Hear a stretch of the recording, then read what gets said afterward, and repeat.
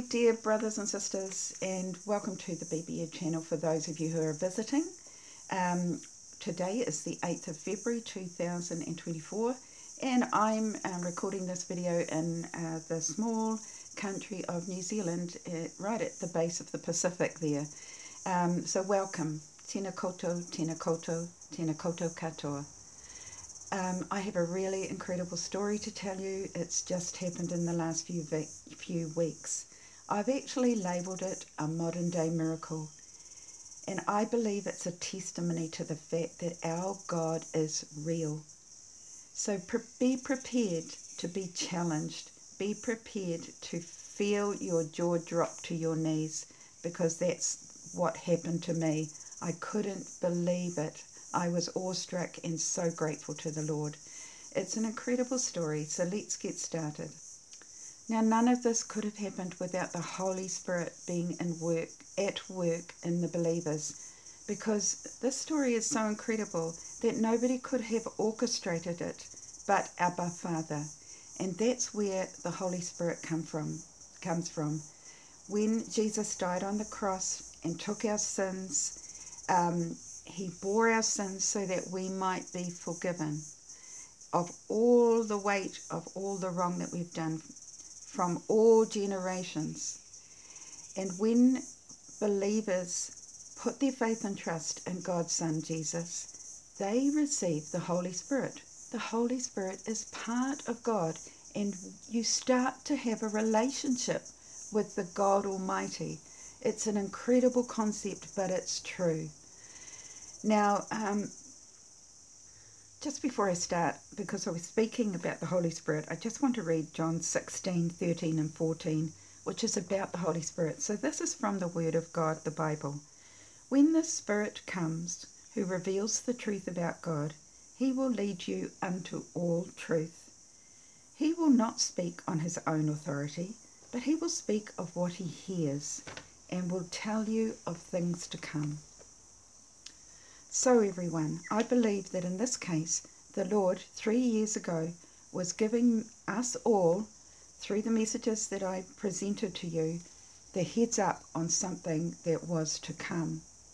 And just in the last few weeks, the Lord has also given this very same message to um, Troy Black.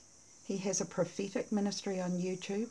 He has a huge following and I do listen to quite a lot of his messages because I really respect the way he presents um, God's word, um, how he speaks about Jesus, the Son of God, and how he presents his me uh, messages in a very responsible way. Um, so I do listen to Troy, and I was absolutely blown away to hear the message that God gave me three years ago coming out of Troy Black's mouth. And the incredible thing is that this message was so cryptic, so symbolic, and yet God gave the same symbolism to Troy. And the themes are so, so similar. And so, brothers and sisters, I just feel it's really important to confirm this link that the Lord has made between the message he gave me and the message he gave Troy. Now, I have tried to contact Troy Black and I've been unsuccessful, um, but I uh, have great respect for the man and um, I'm not going to add anything to what he said. Um, and I would recommend that you go and watch his video as well. And I will give you the information at the end of this um, message. So the incredible thing was one, the first miracle, the message was given three years apart to two believers that live 6,500 miles apart at least.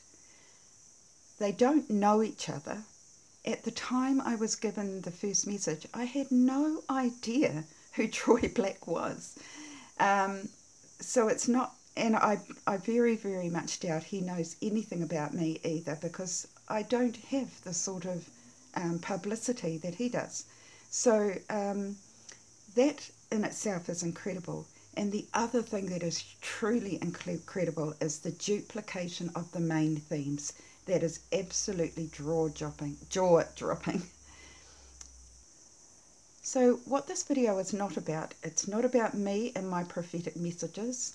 It's not about Troy Black and his prophetic messages. It is about God the Father reaching out to mankind. God wants you to realize that He is real and He wants to have a relationship with you. He wants you to hear Him through the Holy Spirit. And most of all, it's about His Son, Jesus Christ. And when I asked the Father what to put in the video, he said it's to be based on Jesus Christ. That is the true message that he wants to get out. That he sent his Son to take your sin so that you can put your faith in him and have a relationship with God the Father. That is the true message of, of this video. But let's get on and I'm going to tell you the miraculous story. So, three years ago, I was given the theme of the moth, the moth figure, and it was explained to me by the Lord that he was going to be a prominent, influential person in the end times and that he was coming soon. And I had no idea why he was called the moth. Um, so that's what I'm saying. I had to bring it to you, feeling like although this seems bizarre, this is important. So the first thing the Lord showed me was a vision of a cocoon. Um, there was quite a story around that. I'm not going to go into it. Please go back and see the original video. Months later, the Lord told me that this moth figure, the cocoon, had opened. Now, I'm just going to flip through these really key main themes that both Troy and myself have received. And so I'm just going to give you the bare bones. Um, so the first theme is the cocoon. I was shown the cocoon in a vision, and then the Lord told me that the moth had come out of it, that it had hatched. Troy Black in December 2023 heard this that this moth figure was going to be a giant of the land, but stowed away for a time in a capsule waiting to hatch. Now, this is how God speaks. He speaks in metaphors, He speaks symbolically. And I believe this is exactly the same concept that Troy got that um, this figure was going to be encapsulated and be released or hatched. Okay, so that was the first main theme that was the same. Three years ago, I brought to you that he was going to be an end time figure. The Lord told me he was called the moth. He said, Yes, it's about the moth. And um, he showed me this vision, which you see before you. He showed me the moth as a man sitting in a very grand chair. And I explained, explained in my video that I didn't believe it was a throne, that he wasn't royalty, but he was going to have a seat of power and of significance. And um, beside the moth in the chair was another figure who was symbolized as an animal, and this animal was a stag with antlers. I'm not going to go into that right now. Um, I'm just going to go to the main theme and what Troy Black heard, which is so similar. So Troy Black was told this man was called the Mothman or the Mothra and he was told that a moth will rule the USA. Troy actually called his video these words God told me who the President of the United States, who will be President of the United States. So once again, Troy has re received uh, the information that he is called the moth, that he is going to have a position of power and he's got that little bit more information um, that I didn't receive three years ago. And this is how God works He gives us a dim image, a story where we don't see everything in its clarity, and then He will add to it. And the miracle is that He's used somebody else to add to it. I am just blown away. Okay, so once again, we have to take these things to God and ask Him, is this prophecy true? Um, I really, really encourage that. the next main theme is that the moth will have a right hand man. This came out strongly in my messages. Um, I, as I said, received the vision of the moth and the stag. I in, really uh, went to the Lord and asked him who this stag um, figure was. The Lord didn't give me their name, but He said that they were going to be working in partnership. The way He explained it was this that the cover of one is going into the other. And He showed me a vision of two cell phones. That, oh, sorry, one cell phone, but the cell phone had a cover on it. And then I saw another, oops, sorry, clear cover coming over the cell phone and overlaying um, the first one. So I knew there was going to be a firm partnership between these two figures. So uh, Troy Black also mentioned uh, that he, uh, this um, Mothman would have a um, right hand man, and he also said these words The cult following of one is going into the other. Now, Troy said a lot of other things about this relationship, so uh, you will appreciate that when you watch his video. And lastly, everyone, the other most draw dropping thing about all this is three years ago, and it's in my video, no word of a lie, the Lord actually gave me the name Troy. And I had no idea why. And brothers and sisters, you can see here, um, I've put this the um, Trojan horse figure here because the Lord also linked this Troy um, with the story of the city of Troy and the Trojan horse. And I'm not sure of the symbolism of this part yet, but I firmly believe there is no mistake that the Lord gave me the name Troy. And I believe that He has done this for His glory and for His honour and to glorify His Son, Jesus Christ. When I asked the Lord if I could share this message and the duplication that had happened with these main themes, He said to me, I did that.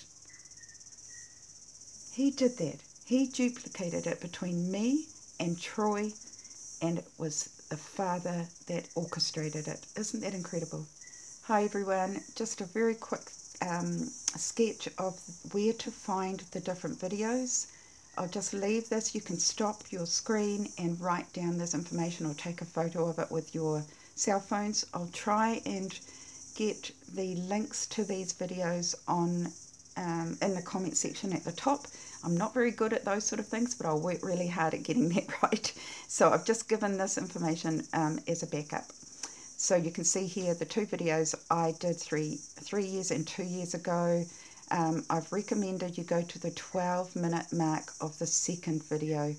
Uh, otherwise, um, you, you will just waste your time because the first 12 minutes is about something else. Um, it's just a little bit more information about the moth figure. Um, so it is worth going to that. Um, and then there's Troy Black's video there, God told me who would be the President of the United States of America. And I've got to finish with something about Jesus, the Lord Jesus Christ. What a beautiful name. When I asked the Lord what to say about his son, he gave me that gorgeous song, Jesus, what a beautiful name. And I couldn't help thinking, He did this for you. He carried His cross. You can see this figure here in the, in the picture. The weight of the cross and the extra weight of the burden of sin of all mankind was carried by Jesus on His shoulders until His death. He was obedient unto death from the moment He presented was presented to this earth as a baby and walked through that 30 odd years of life, he carried that burden.